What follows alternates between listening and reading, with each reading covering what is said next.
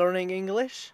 I like that. That's big accomplishment for me. I think learning English, having like a computer science like major in my mind, like having choose a major, I think that's a big accomplishment, and just like learning the the American experience, like, and all of this, I think that's a big accomplishment for me too.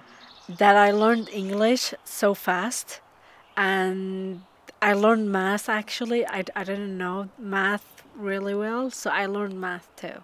I'm, I'm so proud of those two.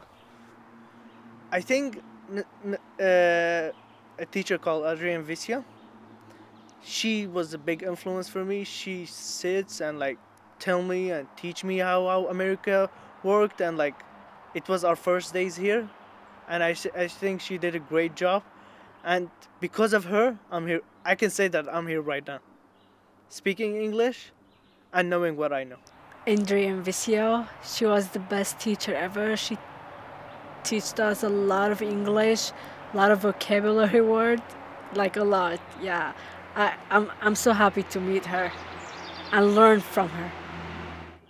I miss like having the last meetings with our like friends and seniors as the seniors. I miss playing soccer because like I, I couldn't. I, I had to learn english. I missed that and that's it. Graduation? I was planning to have like a big party for graduation and actually it's not happening. So yeah. And actually prom. I was planning to go to my last prom. So yeah I already had some experience like this back in Syria, like where we had to stay in home, like not go out and stuff. But it it was different experience to have it like uh, as now for like a virus pandemic and like having to stay home. I think that that this as a class of 2020, I think this is so unique. Just like my story is like and how I was back in Syria and now I'm here. I think that's just like unique. I, I feel like it's a story that it's worth sharing and worth telling for like the generations that it's after us. And i just i, I will just always learn from this exp- experience and always have it as a like example to look forward.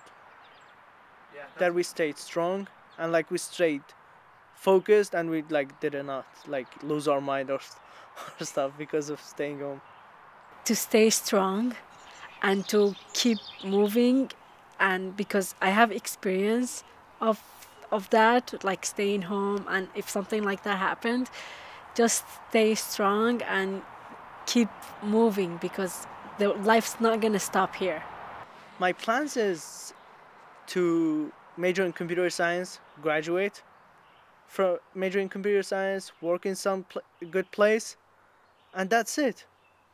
I like this is my main goal for the future right now is to graduate high school, uh, I mean college, majoring in computer science. I'm going to college. Um, my goal is to be a pediatric nurse. So yeah, I'm planning to to be a nurse.